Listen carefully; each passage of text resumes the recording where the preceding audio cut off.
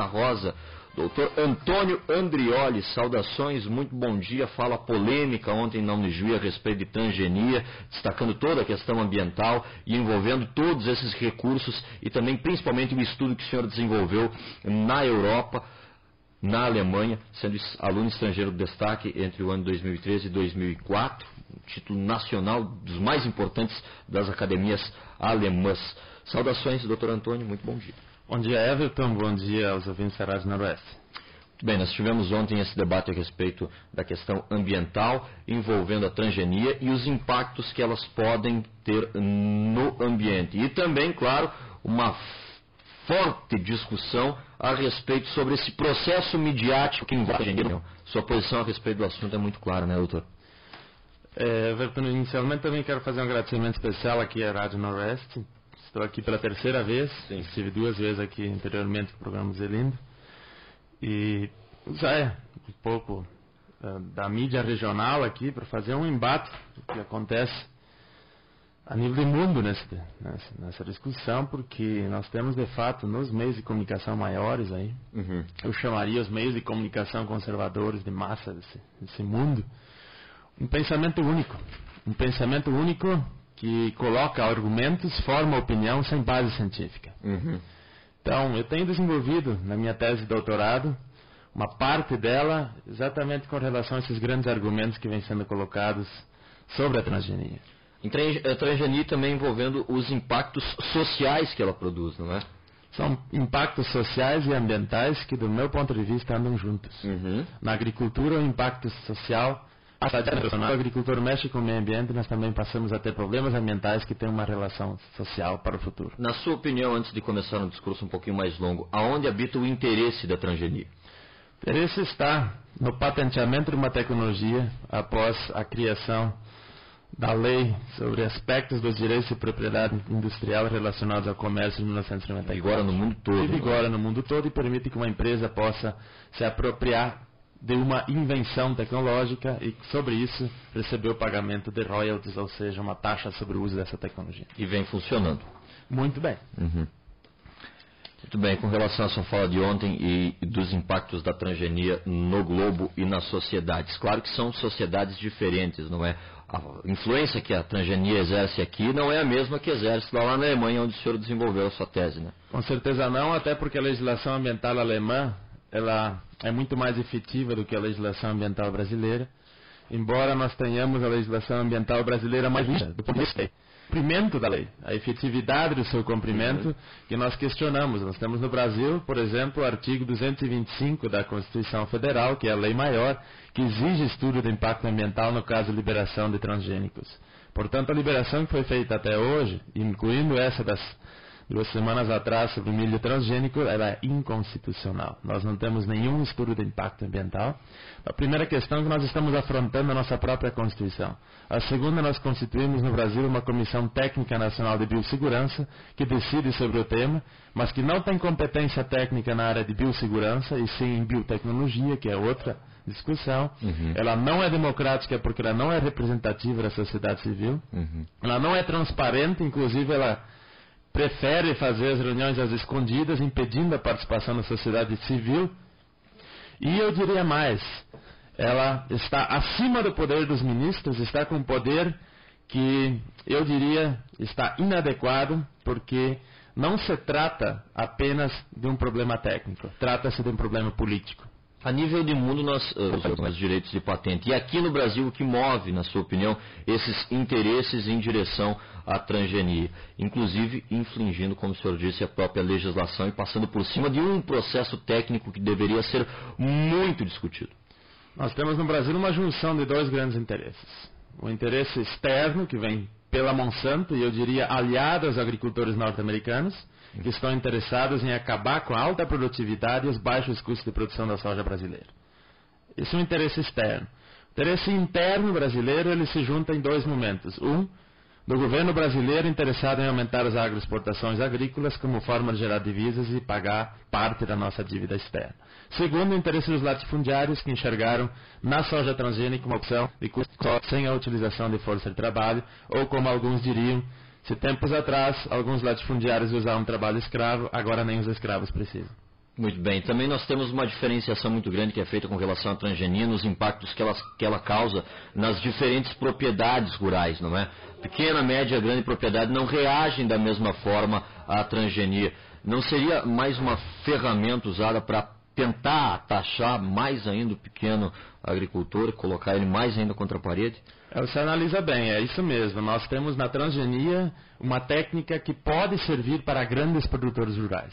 Só. Essa é inclusive a afirmação da Monsanto na Alemanha. Muito bem. Ela serve para grandes produtores rurais que estão com problema com uma determinada situação que nós chamamos aqui na região de excesso de insos. Uhum. Esse é um caso específico de problema de uso de agrotóxicos no decorrer de vários anos e nós estamos querendo resolver o problema com mais agrotóxicos ou com um novo agrotóxico agora, com a possibilidade de jogar esse agrotóxico em cima da própria cultivar. Então, eu diria que antes de construirmos a solução do problema, nós deveríamos questionar por que, que o problema surgiu. Infelizmente, esse não tem sido o interesse da maioria dos assim interessados na divulgação da soja transgênica ou do milho transgênico tem entrado num beco sem saída, eu diria assim, Everton. Uhum. Esse é um beco sem saída, porque nós estamos mexendo com a reprodução de um ser. No momento que nós mexemos com o DNA, com ácido desoxiribonucleico, nós não teremos mais controle sobre as consequências futuras, porque esse novo organismo vivo, com esses genes introduzidos, ele passa a se reproduzir ele mesmo e nós não teremos mais nenhum controle em caso de riscos e perigos que estão aí na frente da nossa porta. Qual a discussão que se estabelece agora no campo ético a respeito da mudança desse, de, dessa estrutura do organismo vivo, no caso a planta? É, nós estamos brincando de criador aí. Nós estamos usando uma tecnologia que existe há mais de 30 anos, que é assim chamado DNA recombinante, onde se descobriu que enzimas podemos recortar partes uh, do DNA, desse uh, ácido que Sim. tem todo o organismo, que é responsável pela reprodução das características hereditárias, nós selecionamos genes, ou um gene, de um organismo e podemos implantar esses genes dentro de outro organismo através do uso de uma agrobactéria que provoca um tumor e permite a inserção desses genes no novo organismo, ou então através de uma pistola de DNA através do uso de partículas de metal. Nesses dois processos, nós temos dois problemas no mínimo, vou colocar aqui. Primeiro, do ponto de vista científico, nós não sabemos quantos genes nós inserimos e não sabemos onde eles foram inseridos. Uhum. Portanto, nós não sabemos nada sobre o efeito de posição, que é fundamental para avaliarmos as consequências. Nós não sabemos as consequências das relações entre os genes, entre esse novo inserido com os anteriores. Como ele vai se comportar no futuro? Como ele vai se comportar, nós não sabemos, porque nós não sabemos quantos foram inseridos. E segundo, um gene não tem só uma função. Uhum. Nós sabemos desde as milhões humanas de ter genes, como se afirmava anteriormente, tem apenas em torno de 40 mil genes. Nós temos então, no mínimo, metade dos nossos genes cumprindo mais de uma função. Isso significa que quando nós inserimos um gene em outro organismo vivo, nós também podemos estar certos de que essa função desejada vem junto com outras funções não desejadas. E nós estamos provocando com a transgenia um problema muito sério, eu diria assim, muito sério do ponto de vista futuro, porque nós conhecemos parte do genoma dos organismos vivos até hoje. Eu vou uhum. deixar um dado aqui bem assustador. Eu pesquiso soja há mais de 15 anos. Eu conheço parte de 20 genes da soja. São quantos? que a soja tem 200 mil. Que coisa. Então nós conhecemos algo sobre 0,02% e tem cientista fazendo de conta que sabe tudo nessa área eu diria, esses mesmos cientistas disseram isso sobre a vaca louca. Esses mesmos cientistas disseram isso sobre a energia nuclear. E nós estamos trabalhando aqui com uma tecnologia de risco fica e do ponto de vista social um absurdo. A honestidade intelectual dessas pessoas não é colocada em dúvida pelos veículos de comunicação a nível mundial. Os interesses delas não são pesquisados, não se sabe aonde elas querem chegar exatamente, por que elas partem para esse lado. Eu já diria, dizia isso em outros programas aqui na Rádio Noroeste, 80% do pessoal que trabalha com transgenia hoje no mundo é financiado pelas multinacionais. Uhum. Então isso não é mais ciência, isso é expansão eufórica de propaganda para as empresas. As empresas financiam esses estudos, definem o objeto de estudo, definem o método e definem quais resultados devem ser divulgados e quais não. Nós ainda temos 20% de cientistas que resistem. E por isso também ocupam determinados espaços de pesquisa no mundo. Nós temos, por exemplo, na Comissão Técnica Nacional de Biossegurança, alguns cientistas também que estão nessa comissão e que são críticos e que fazem pesquisa independente. Mas vejam só o absurdo agora, Everton. Nós temos nessa Comissão Técnica Nacional de Biossegurança a possibilidade de aprovar transgêneria simples. Hum. Significa que se nessa comissão nós tivermos 14 pareceres dizendo que não tem problema ambiental ou social ou a saúde, e nós tivermos 13 cientistas dizendo que nós temos problema sim, eu voto vencido. Isso vai ser liberado. Você veja o quanto é científica essa comissão, o quanto se brinca de ciência. Não dá para fazer uma aprovação de 14 contra 13, e o que nós tivemos na aprovação do milho transgênico foi exatamente isso. Foi reduzido o quórum necessário para dois terços. E com esses dois terços se aprovou o milho transgênico, há duas semanas atrás, sem nenhuma discussão da sociedade civil, uma irresponsabilidade das instituições públicas desse país, eu digo inclusive do judiciário, porque uhum. não se mexe nesse momento, que é uma questão inconstitucional. Vou colocar aqui um dado extremamente polêmico. No milho transgênico foi inserida uma bactéria, se chama Bacillus thuringiensis. Os agricultores dessa região devem conhecer que se trabalhava com o Dipel, que é uma marca de uso desse produto para combate de lagartas. Tempos atrás se usava. Então, carne a base de Bacillus thuringiensis. Agora, essa bactéria Bacillus thuringiensis, que produz uma toxina que mata a lagarta, principalmente a lagarta do cartucho no milho, essa planta tem dentro do seu DNA esse gene da bactéria Bacillus thuringiensis. No momento que a lagarta vai comer essa, esse milho, essa planta, ela morre. Mas um detalhe, não é só essa lagarta que morre. Nós já temos um impacto ambiental para cima de outras lagartas que não morrem, que não são um problema de praga. Nós temos um segundo detalhe. Que deveriam controlar, inclusive. Exatamente. Pragas, pragas segundo detalhe, nós estamos comendo então esse milho. Uhum. Os animais vão comer esse milho. E agora o dado importante. Bacillus thuringiensis, nós já sabemos há mais tempo, provoca imunodeficiência. Se nós gerarmos imunodeficiência, nós estamos provocando novas doenças.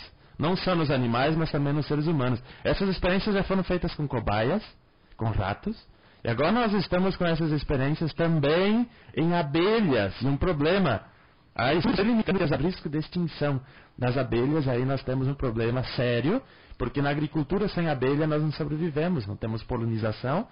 Sem polinização não teremos comida. Um outro problema, você veja agora a relação econômica disso.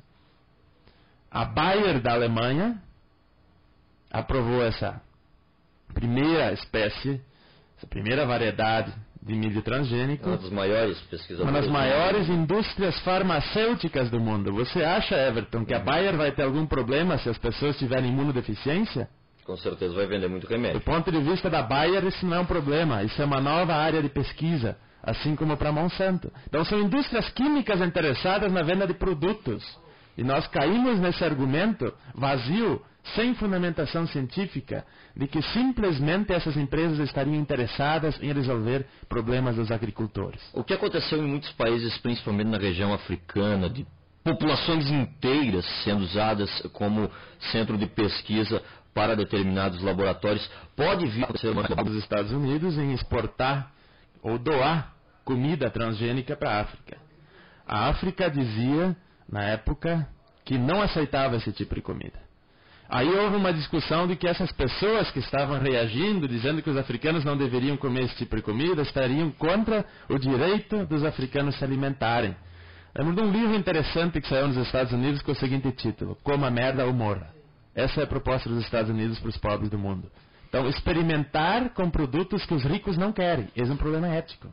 Como é que você vai obrigar o ser humano a comer aquilo que o ser humano que não está em problema econômico, que pode comprar um outro tipo de alimento no mercado, que esses seres humanos sejam obrigados a comer o que os outros não querem? Então, essa seria sim uma forma de cobaias. Nós já estamos sendo cobaias, Everton. Eu te desafio aqui a ver se algum azeite de soja, algum óleo de soja dessa região tem um rótulo em cima, que é transgênico. Deveria sabe, ter pela legislação. Você sabe que nós temos aqui na nossa região produto transgênico em 95% ou mais.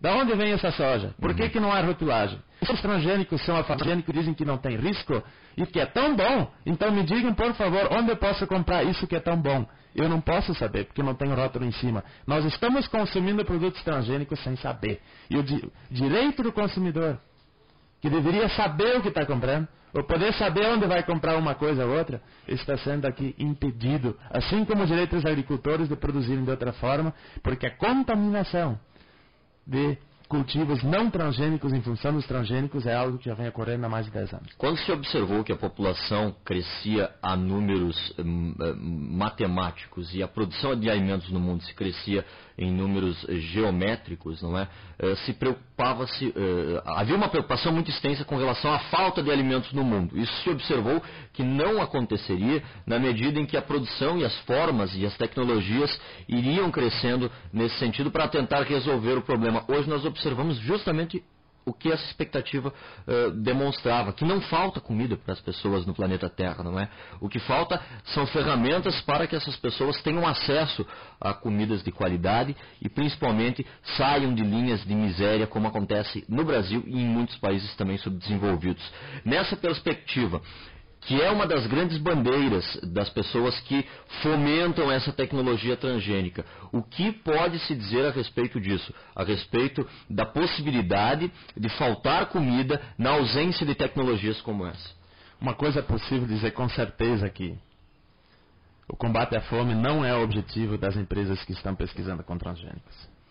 Essa teoria do aumento da população o aumento desproporcional em relação à produção de alimentos é uma teoria antiga criada por Thomas Malthus uhum. que dizia simplesmente que nós teríamos poucas áreas disponíveis no mundo para produzir comida para tanta gente que estaria nascendo e que, enfim, nós teríamos muito mais gente para alimentar do que comida sendo produzida. Ele desprezava, na época, a agricultura capitalista e o processo de tecnificação que aconteceu. Sim. Hoje nós temos 50% a mais de comida do que capacidade de comer no mundo. Nos últimos anos, nos últimos 20 anos, nós aumentamos em 15% a produção de alimentos e no mesmo período nós aumentamos em 42 milhões o número de famintos. Nós estamos com 842 milhões de pessoas passando fome, produzindo 50% a mais de comida do que o necessário. Então, aumento da produtividade não é a solução. O dilema é a distribuição, é o acesso a essa comida. Nós observamos às vezes também comida sendo jogada fora, caminhões de batata, arroz sendo jogado no mar, justamente para tentar elevar os preços Exatamente. no produto final que o consumidor vai ter. Isso, isso, isso sem dúvida é um problema ético. Acompanha comigo um raciocínio. Ano de 2002, a Federação, ou Associação dos Agricultores Norte-Americanos, ofereceu para agricultores do estado do Rio Grande do Sul 200 dólares para não produzir nada por hectare, para que o preço da soja não fosse baixar. Com certeza, então, o interesse não é matar fome no mundo. Né? Certamente né? não, e se nós formos olhar a realidade brasileira, que é um desastre, nós temos do ponto de vista dos recursos, tanto solo, aqui nós temos mais de 100 milhões de hectares ociosos, sem considerar nada dos recursos naturais que nós não devemos invadir, como o Pantanal, como a Amazônia, nada disso está contado. Nisso são 100 milhões de hectares ociosos servindo de reserva de valor para alguns latifundiários nesse Brasil. Nós temos, em segundo lugar, um clima apropriado para produzir quase tudo que se pode plantar nesse mundo. E nesse país, nós temos 40 milhões de pessoas passando fome. E nesse país, nós chegamos até a capacidade de, através das agroexportações de soja, financiar programas de distribuição de alimentos para agricultores e de importarmos alimentos de outros países, porque não estamos para o Brasil. Se Isso lógica, é uma vergonha. É, se a lógica desse capitalismo é tão ruim e os argumentos são tão falaciosos como tu apresenta aqui para a gente, por que, que na prática isso consegue se efetivar? Porque nós temos, do ponto de vista da política, uma estrutura que se chama representativa, mas não é representativa. Nós temos no parlamento brasileiro, vou dizer isso aqui categoricamente, a representação de uma minoria da sociedade. A maioria da sociedade, infelizmente, não é representada dentro dos nossos parlamentos. Acontece alguma inversão no processo eleitoral, isso não só no Brasil, e eu acho que isso nós deveríamos questionar seriamente do ponto de vista da, da democracia, porque nós temos, dentro de um parlamento, pessoas que estão contrárias aos interesses da maioria da população. Vamos pegar o caso dos transgênicos aqui. 80% dos consumidores não querem transgênicos. Como é que pode um parlamento aprovar isso? Se fosse fazer um plebiscito, não só de venda de armas, mas sobre esse tema, certamente nós teríamos um outro resultado do que esse que nós temos hoje. Muito bem. Explanados os argumentos, eu te vi na Feira da Economia Popular Solidária final de semana. Seria essa uma das alternativas de saída dessa sinuca de bico que tu tenta apresentar aqui para gente? Que a única solução é a seguinte: nós temos consumidores que hoje não estão tendo o direito de poder comer o que querem, ou uma comida de maior qualidade. Eu digo sem agrotóxicos, não esse discurso de menos agrotóxicos que começa a vigorar. Uhum. Como que dizendo que o outro veneno é menos veneno que aquele, enfim, eu quero dizer aqui sem veneno mesmo. É o que foi apresentado aí na Feira de Agroecologia, que é possível na nossa região. E a agricultura conseguiria se desenvolver nesse sentido? Nós conseguiríamos ter produção suficiente ainda para todas as pessoas? Com certeza. Olha um dado aqui, Everton. Quem ganhou o prêmio de maior produtividade da soja na FenaSoja no ano passado? Agricultor familiar. Foi um agricultor de Santo Cristo produzindo soja orgânica, sem veneno e sem adubo químico. Você sabe qual é o prêmio que ele recebeu? Hum. adubo sei. químico. Adubo químico. Porque parece que não cabe na consciência das pessoas a ideia de que seja possível produzir ecologicamente com maior produtividade. E no momento que nós tivermos o ecossistema equilibrado, nós não vamos ter problemas de produtividade. Pelo contrário, a baixa produtividade é um problema da técnica. Vai a longo prazo acabar ou a médio prazo, nós não vamos ter mais condições de estar importando adubo químico e agrotóxicos da forma como estamos fazendo, assim como com o petróleo. Isso são recursos que são limitados. Então, se nós juntarmos o consumidor que está interessado em comer comida de qualidade e o produtor que tem condições de produzir esse alimento com um melhor preço, inclusive, e juntarmos os dois numa organização cooperativa que eu chamaria de economia solidária, que Sim. foi a feira, e aí estava a demonstração.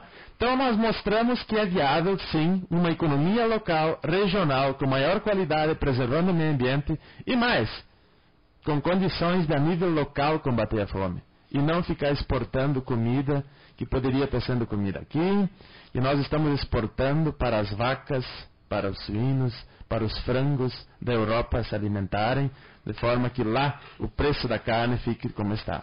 Eu acho que esse não deveria ser essa não deveria ser a nossa prioridade. Infelizmente, o governo brasileiro adotou essa estratégia que, para mim, tem mais de 500 anos, que é o, o café, né, Everton? Uhum. Nós somos o maior produtor de café do mundo, café em grão. A Alemanha é o maior vendedor de café refinado do mundo sem plantar um pé de café. Eles ganham muito com a comercialização de café e impõem para nós a comercialização do café em grão. é uma vergonha. Aqui, né? É esse o esquema que internacionalmente mantém a fome,